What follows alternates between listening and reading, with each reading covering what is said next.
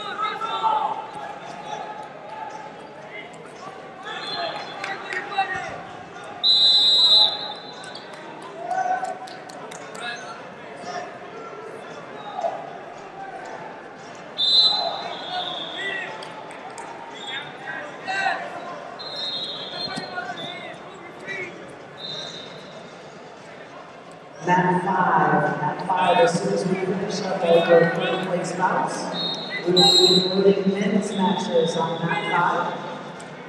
We'll finish up that final round on mat six as well. So we're finishing all the matches on five and six. And we will be including men's matches.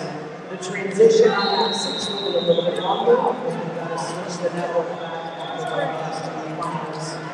But five and six will both on. So John, once that need to watch as well. Because you'll to start being the to mats five and six.